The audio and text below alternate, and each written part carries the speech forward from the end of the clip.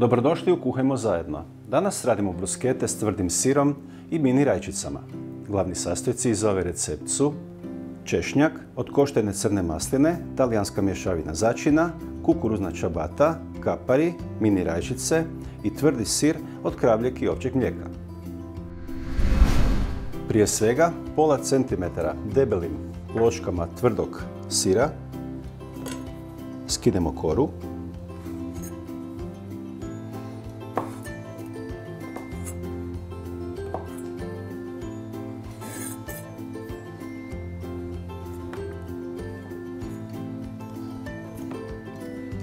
Zatim ploške sira narežemo na prutiće.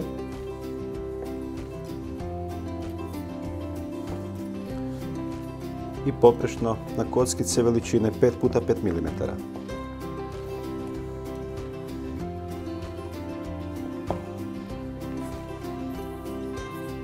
Ovako narezane kockice stavimo u zdjelu.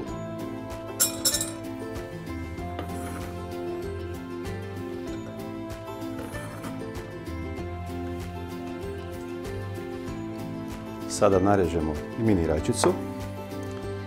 Režemo je na kriške, najbolje na šest dijela. I narezanu rajčicu stavljamo u zdjelu sa sirom. Kada smo narezali i dodali svu mini rajčicu, dodamo i kapare. Protisnemo režnjeve češnjaka.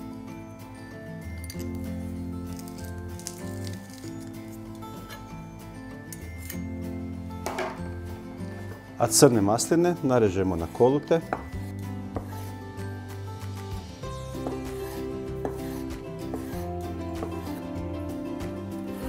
Te njih dodamo u zdjelu s rajčicama, kaparama i sirom.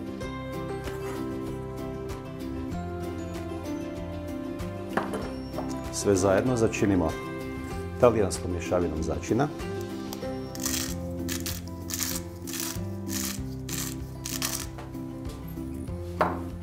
Ulijemo ekstra djevičansko maslinovo ulje.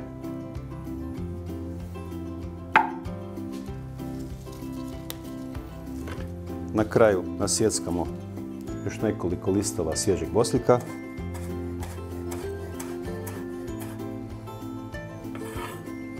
Dodamo uz dijelu.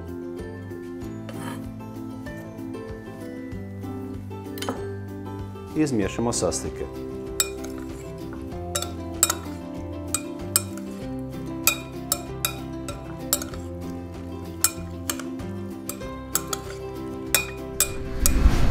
I na kraju kukuruznu čabatu narežemo na kriške debljine 1 cm.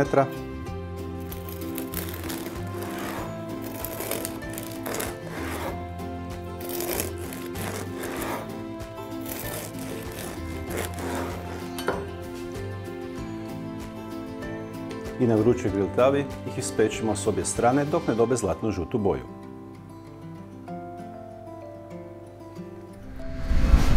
I kada su se kriške čabate ispekle, izvadimo ih na neku podlogu na kojoj ćemo ih poslužiti. To može biti tanjur ili ovako drvena daska.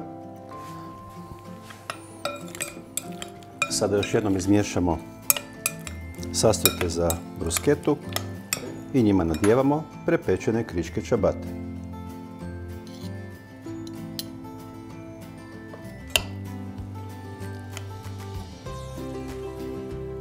Sve zajedno ukrasimo sa još nekoliko listića svježeg boslika.